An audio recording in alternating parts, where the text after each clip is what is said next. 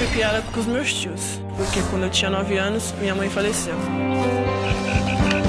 Mas graças a Deus eu tive os meus tios que me apoiaram 100% e eu fui pro caminho do esporte. O basquete mudou minha vida da água pro vinho. Eu fiz o teste, aí uma semana depois a Jonete ligou lá em casa. Então ela me falou, de 80 meninas você foi a única que passou. Foi onde eu fui crescendo. Em 2007 já fui melhor de São Paulo, 2009 também.